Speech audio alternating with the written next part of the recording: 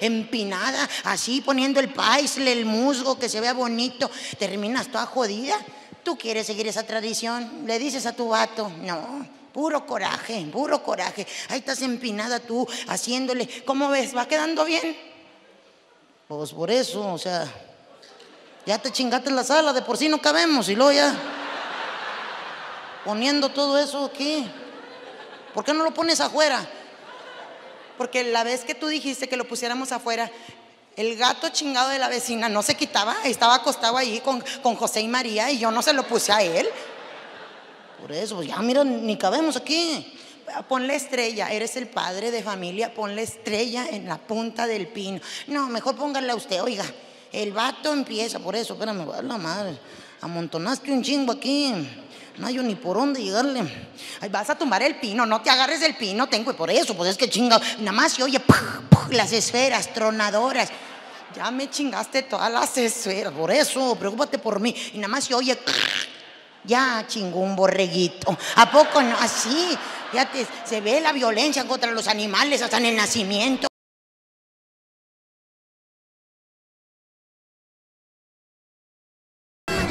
Le suena el teléfono, se canastean solos. ¿Dónde chingos está? ¿Dónde chingos está? No hablan, gritan por teléfono. Bueno, o sea, cállate, cabrón. Los celulares se inventaron para cortar distancias. ¿Para qué gritas? Pero ahí está. ¿Eh? ¿Qué pa- ¿Eh? A ver, espérame. Y le apagan al estéreo del carro. A ver, dime. ¿Qué- ¿Eh? ¿Qué? No, ¿qué quién es? Es Pepe, el de ahí de la empresa. ¿Lo conoces? No, bueno, entonces déjame estar, déjame hablarme, chingado. ¿Qué onda, güey? Sí, yo, yo, yo le dije, güey. Sí le dije. No era la calle de nosotros. ¿Eh? Que la calle ya te la pasas. Pues dime, dime. ¿Estás viendo cómo ando? Vamos, cabrón, cómo ando.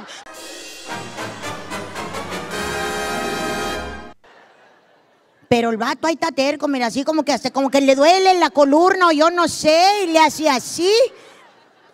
Cuando ya sientes el peligro uno de mujeres, ¿Sabes qué? Ya me voy. porque uno sí se pone nervioso, y ya me voy. ¿Por qué? eh? Fíjate, Y hacen una voz según ellos cachonda, sexy. ¿Por qué? ¿Eh? ¿Eh? No, pues ya, porque ya como quiera ya es tarde y este. Y pues mi mamá, ¿verdad? y así, este. Ya. Espérate. ¿Ya viste cómo me tienes? ¡Vamos, cabrón! Yo te tengo, tú solo te pusiste así, ridículo. ¿A mí qué me estás diciendo? ¿Eh? Deja tú donde le digas, No, es que no, o sea, yo, yo quiero llegar virgen y, y todo. Y, y, o sea, a mí me da un chorro de miedo eso. Sí, porque pues uno se imagina el animalón brutal, y como anaconda, ya ves eh, eh, esas películas que hasta le hacen ¡ah! y te tragan todo, ¿verdad? Pues eh, por eso es de que, ay, no, ¿verdad? No, eh. pero es donde viene esa frase que te dice, ¿así me vas a dejar? ¿Eh? Te estoy hablando, mírame, mírame. Y uno con la mirada que no la quería uno levantar. Te estoy hablando. Mírame, por favor, mírame. ¿Me quieres? Ya sabes. No, pero dímelo tú. Sí. ¿Y así me vas a dejar? Pues es que, o sea, no. Ya. ¿Sabías que me puedo morir si me quedo con esto? ¡Vamos, cabrón! ya.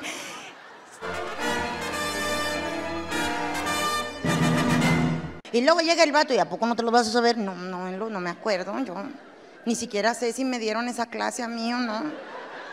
Ya ves que por irme contigo, cabrón, me salía mucho de la escuela.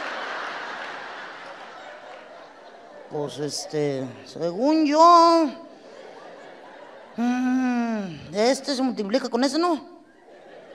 No, yo sí, ¿no? Pues, pues este el pedo, o sea. Pues que los haga así, que se lo multiplique y. Bueno, ¿y lo que sale de esta? ¿Va arriba o abajo?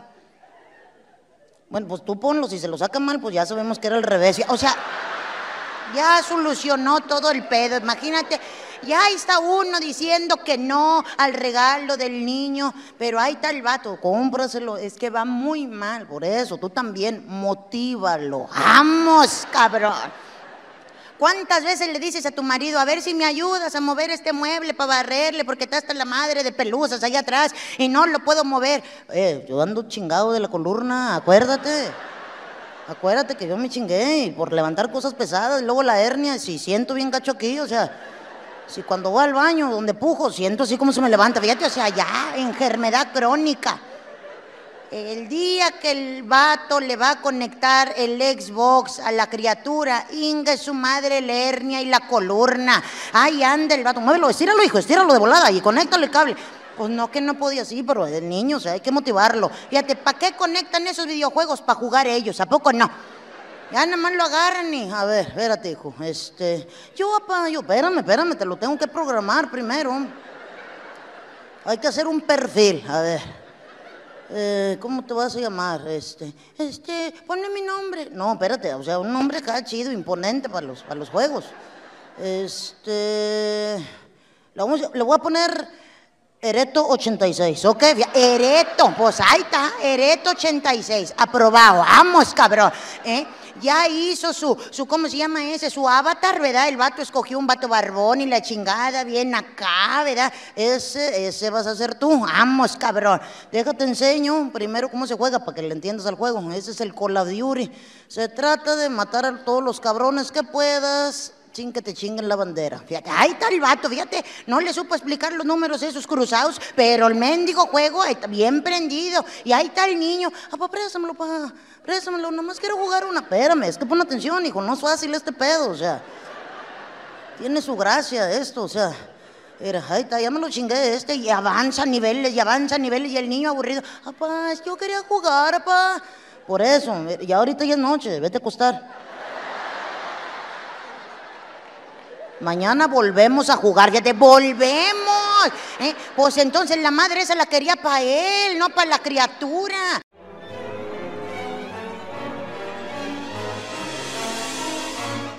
Nunca quieren tomar nada, poco no, ¿qué va a tomar? Ahorita no, ahorita no.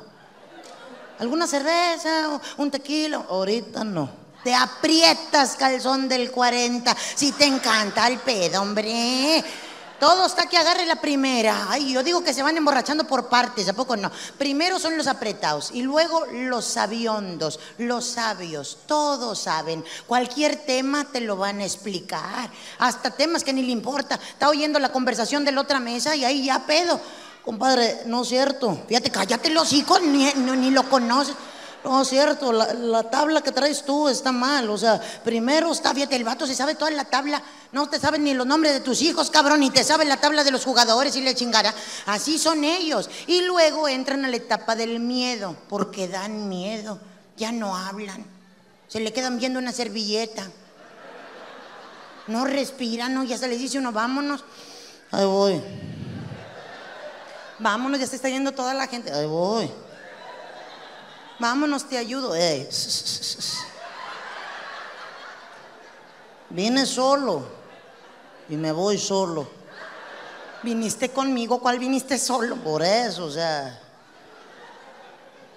Yo me entiendo, yo me entiendo. Ya andas bien pedo. ¿Quién está pedo? ¿Quién? Ya estás bien pedo. Por eso, ah, chinga, te lo voy a demostrar, donde se paran, se van tambaleando.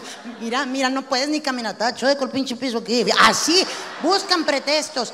Hay cabrones que muy amablemente cuando llegaste te dijeron, bájate aquí en la entrada para que no camines, déjame, voy a estacionar el carro. Señorita, mejor camine, de veras, váyase con él a estacionar el carro, porque ya cuando salen de aquí ya no saben ni dónde chingos lo dejaron. Ahí está el vato ya bien pedo. Y ahora el carro. ¿Dónde lo dejaste? Pues ahí está. Pues, a ver. Llegamos de acá. Me tuve que ir a huevo para allá. Sí, a huevo, vamos para allá. Ya avanzaste medio kilómetro, pero espérate. No, pero cuando yo llegué, llegué por aquel lado. Ah, ya, ah, te trae, oye, caminando. ¿Dónde está el chingado carro? Espérate, pues no va a haber de otra. Hay que esperar a que se vayan todos y el que quede, pues es el de nosotros. Fíjate las soluciones que te da el vato ya borracho. ¿eh? Deja tú, hay cabrones que ya borrachos, los que traen los carros. En la R, perno rápido. Ya le metieron el chingazo a la trocona que está atrás. Y uno de mujeres preocupona, ya le pegaste a la camioneta, vámonos a la chingada. Espérate, espérate, deja ver qué se hizo mi carro. Tu carro, vale madre, vámonos, cabrón. Es una troca rin cromado, con, ahora sí que ya no sé mi nada, nada para adentro, está todo allí ahumado los vidrios, vámonos a la chingada. Por eso, pues es que, chingado, ¿para qué lo ponen ahí? ¿Para qué lo ponen ahí? No, hombre, y ahorita que llegue el dueño, ¿Y lo conoces o qué pedo? Allá.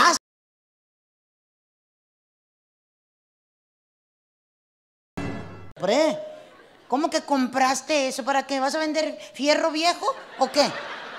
No, la camioneta es una reliquia eso, o sea. Además la quiero arreglar para que veas qué hermosa va a quedar. Digo, o sea, ¿le piensas meter más dinero a la chingarera esa? Dije, ¿cuánto te costó? No. ¿Cuánto crees? No, no estoy ahorita para estar adivinando. ¿Cuánto te costó? Bajita la mano. ¿Cuánto? Que no quiero adivinar, cabrón. Dime cifras exactas. ¿Cuánto te costó? Ahí te va. Esta troca, desde que éramos novios, yo la quería. Dije, después me cuentas tu triste historia. Ve con Silvia Pinal que te escuche. Yo quiero la cifra de cuánto te costó. Eh, por eso, para allá voy, espérame. Es que te tengo que decir todo para que realmente veas el valor que tiene esta camioneta. Desde que yo estaba chiquillo, la vi. Y dije, un día la voy a comprar. Pero tú sabes, mi familia, pobres, trabajando, papá, papá se fue. Mamá se quedó. Y mis hermanos también. Pero dije, ojalá un día Dios me ayude. Y me ayudó. Y la compré. Por eso, ¿cuánto te costó? Mira, para que veas. Por esta troca estaban pidiendo 130 bolas. Dije, ¿130 pesos? 130 mil. Has jodido, no le diste esa cantidad de dinero, ¿verdad, Rigobert? No, escúchame. ¿Cómo estaré menso para darle 130 mil pesos por la camioneta? Claro que no, claro que no. Ahí es donde te digo. Apliqué mis conocimientos básicos de contabilidad. Mófonos. Que se la bajo la pinche troca al vato que me la estaba vendiendo. Le dije, no seas picudo, güey. O sea, aquí traigo el dinero en caliente para llevármela. Por eso, ¿cuánto le diste? Digo, espérame, es que el vato no quería. Fíjate, me sacaba un chingo la vuelta después de tres horas estar escuchándolo. De 130, ¿cuánto crees? No sé. ¿Cuánto, Rigoberto? ¿Cuánto crees? No sé, digo, unos dos mil pesos, si acaso. Y me salen debiendo por esa chingarera. De 130. Le dije, mira, cabrón, aquí traigo 100, te los doy en caliente. dije, los 100 mil pesos que te di para que fueras a depositar el banco, lo de la casa, lo del 15 años de la niña, lo, de, lo, del bautizo del ahijao. Todo eso, Rigoberto, lo diste por la camioneta. Por eso, escúchame. Se oye feo, se oye gacho, drástico, pero cuando la venda, el triple, mija, le voy a sacar. ¡Qué hocico tan desocupado!